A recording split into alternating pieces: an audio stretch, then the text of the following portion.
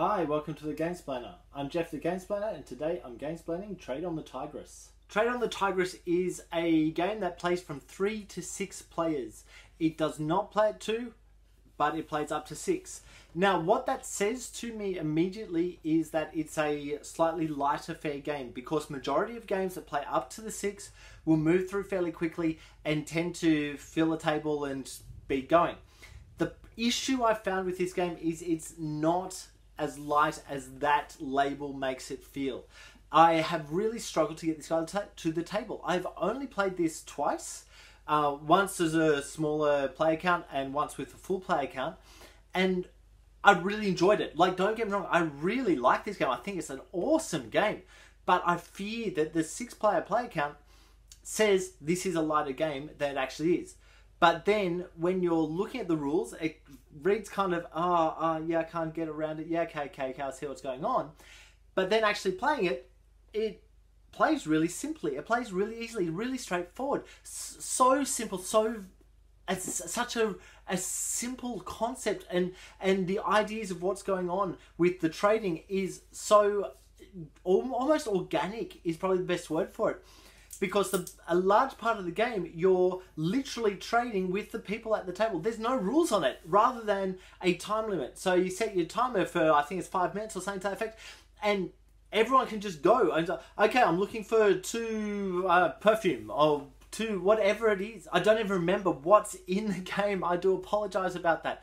But the you you can look for whatever you want and trade whatever you like anything that you have in your hand is fair game for a trade anything you have on your board is fair game for a trade and all you're trying to do is make up points so if i've got three of a certain product to that i can then sell then I'll get a certain num- um, number of points for selling that. If I have four, then I'll get a whole bunch more points.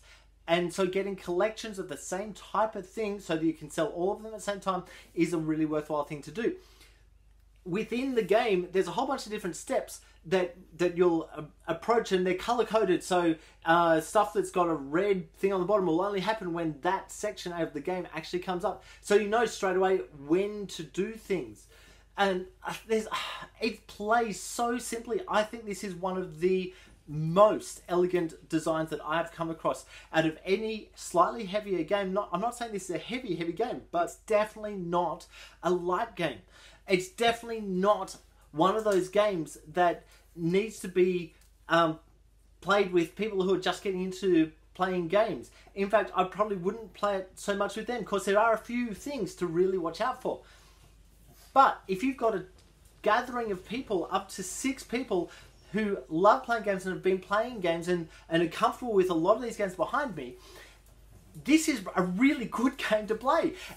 What I find the problem with it is, is this plays to six, so our immediately instinct immediately kicks in and says, oh, that's going to be a lighter game.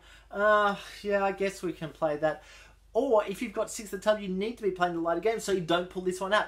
I I find that a big uh, a crunch because I've been wanting so badly to have a heavier game at six. Once again, not saying this is a heavy game, but just the the understanding that needs to go into the rule set. You can't you look you pull it out, you look at, it, you start reading through it, and it's understandable, and and each of the things is totally understandable and totally works really really well.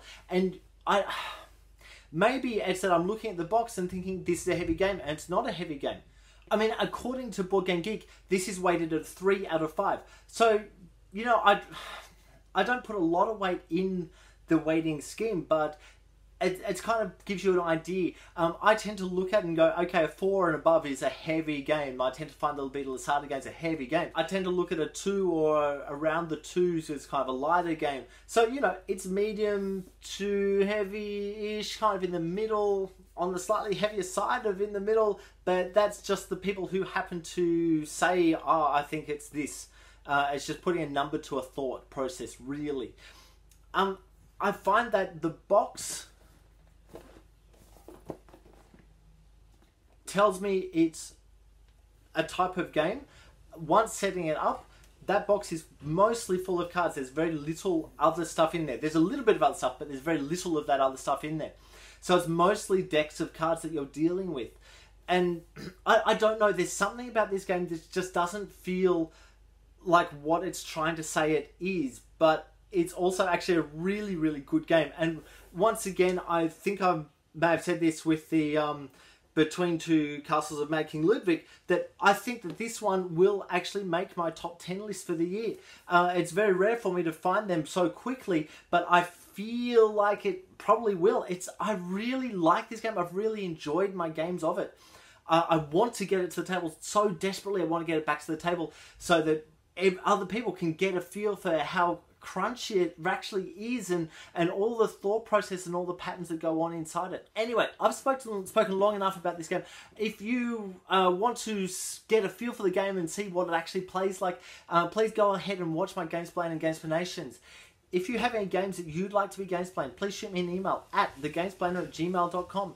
Follow me on Instagram and Twitter at The to keep up to date with the games I'm playing. Subscribe to my videos to keep up to date with the games I'm gamesplaining. And until next time, enjoy gaming.